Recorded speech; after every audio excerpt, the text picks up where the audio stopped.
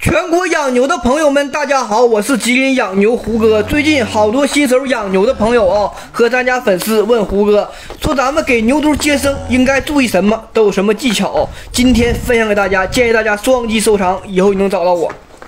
牛犊出生第一件事，马上用咱的手啊抠牛犊嘴啊，把牛犊嘴里粘液抠干净啊，避免吸入肺中导致异位性肺炎，导致牛犊喘。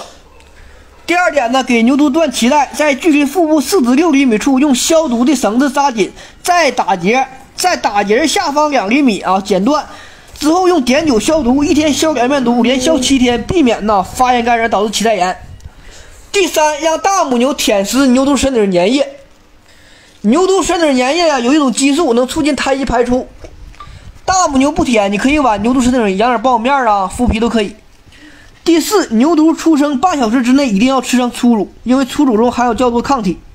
可以增强牛犊对疾病的抵抗。